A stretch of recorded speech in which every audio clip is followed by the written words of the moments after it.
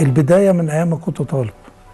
ابتديت فعلا أمارس الحاجات دي زيارتي للمتاحف والمعارض والحاجات من دي جذبتني. التعليم اللي اتعلمته في الكلية والدقة دي برضو أكسبتني مهارة في تعاملي فيما بعد بالخامات اللي إحنا بنقول عليها ملهاش لازمة لا خلقت منها حاجات ليها لازمة. فحاجات ال handmade دي أصبحت في صميم عملي وفي آه، مجال عملي الفني يعني.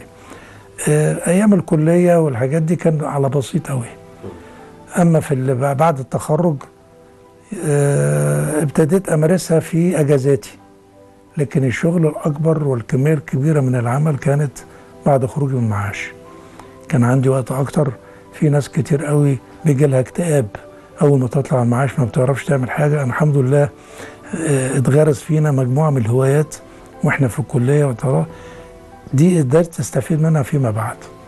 مفيش مجال ما طرقناهوش. بالنسبة لجوز الهند عملت منه حاجات كتير قوي. عملت منه ماسكات عملت منه أوعية عملت منه بونبونيرة عملت منه كرادين عملت القشف الصغيرة بتاعته منه عقود. يعني ما سبتش حتة في جوز الهند إلا لما استغلتها استغلال كويس جدا. عملت ماسكات بجوز الهند.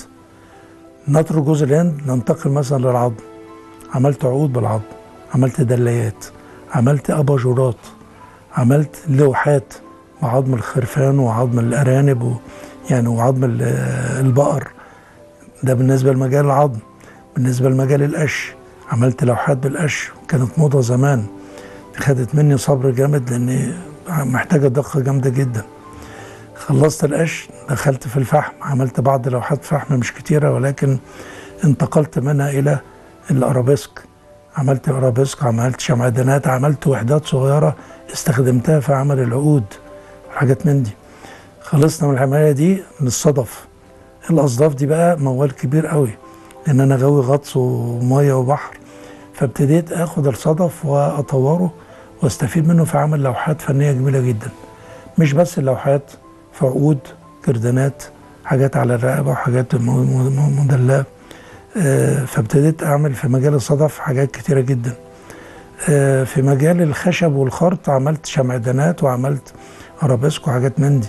مفيش خامة بصراحة ما اشتغلتش فيها. أنا كنت باخد شنط الستات القديمة اللي ملهاش لازمة اللي بتترمي واخد قصايص الجلد أعمل منها حزمة أعمل منها أزهار ورد وحاجات من دي.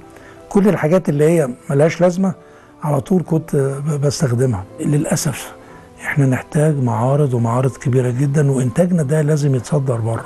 يا ريت فعلا يبقى في دعم. لو في دعم للأعمال اليدوية دهيت لكل الصناع دهيت منتجاتنا هتنتشر وهتروح على مستوى العالم لكل بلاد العالم.